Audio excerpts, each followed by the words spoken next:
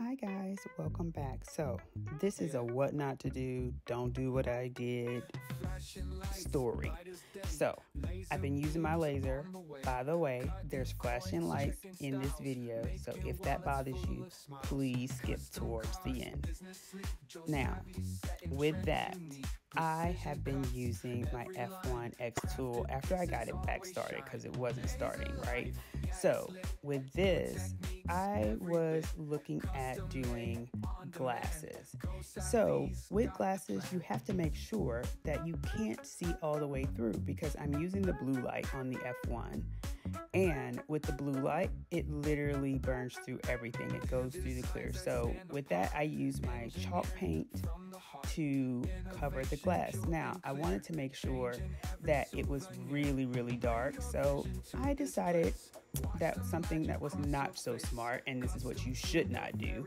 I added some cloth that was black inside of the glass. Well, guys, that went all wrong because what I noticed was it looked like a spark, but because I had on my protective eyewear, I'm like, um, I'm seeing a spark, but is that the blue light? I'm like, uh, I'm seeing the spark, but is that the blue light? No, it was fire crazy. So, thank goodness I had everything right there by me. So I had all my fire protection stuff. I had all the things that I needed. I was able to put the fire out within the glass pretty quickly. But guys, that fire was no joke.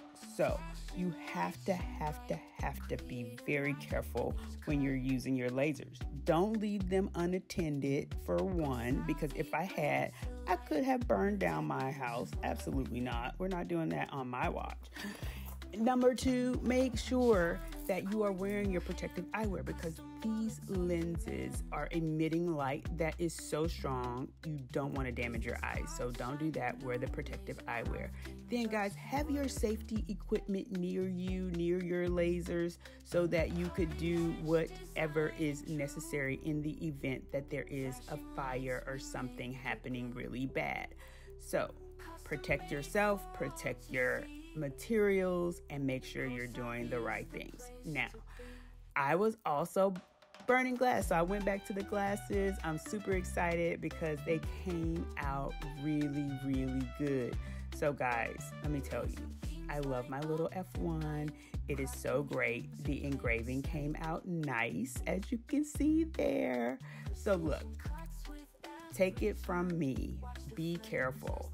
Make sure you know what you're doing. And look at these. Oh my God, you can do so much with your F1. I did aluminum in this, I did wood in this.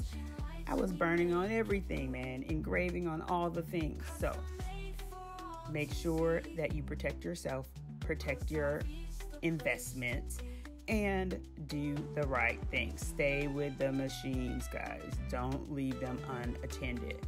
Now look at these really cool little allergy necklaces or whatever.